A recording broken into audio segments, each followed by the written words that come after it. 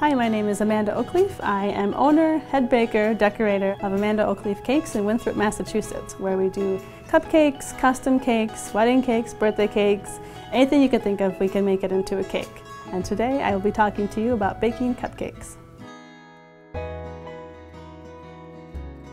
We're going to start with room temperature butter, five and a third ounces. We're going to add it to a six quart mixer, a five quart would work as well, with a paddle attachment.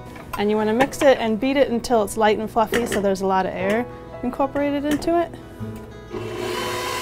So two cups of sugar. And we also have a third of a cup of oil. The butter gives the cake flavor and the oil keeps it moist. And while that's going, we're going to heat up our coffee. So we have a cup of water.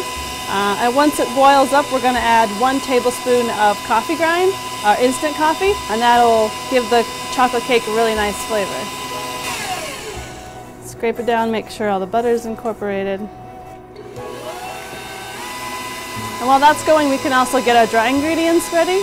Um, we have two and a half cups of all-purpose flour. To that, we're going to add a cup of cocoa and a teaspoon of salt and baking powder. Um, and our cocoa we have is Dutch processed cocoa, so it already is processed with alkali. Um, so we don't need baking soda, we just have extra baking powder. So you want to whisk it together, get rid of any big lumps. Okay, you can set that aside. And once the butter and the sugar is nice and fluffy, we're going to add almond and vanilla extract, a teaspoon of each.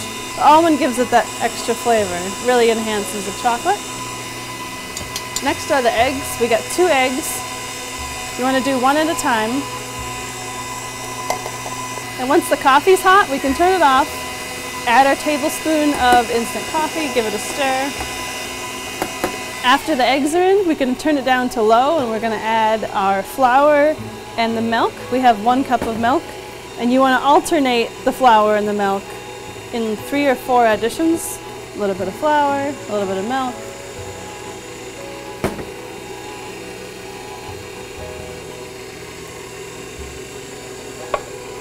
Once you get to the last one, you can stop the mixer, scrape it down, make sure there's no butter and sugar stuck on the bottom. So it's pretty thick right now, but we're gonna add the hot coffee and that will thin it out. So on low, you want to just add a steady stream of the coffee.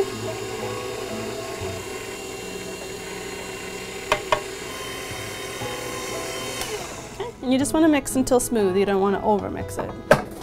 Give it one more scrape down, get everything off the side of the bowl. And I like to use an ice cream scooper and it's a two ounce ice cream scooper. If you don't have one, you can also use a fourth of a cup measuring cup. And you can fill it pretty full. A heaping scoop is good. And this much batter should make about two dozen cupcakes.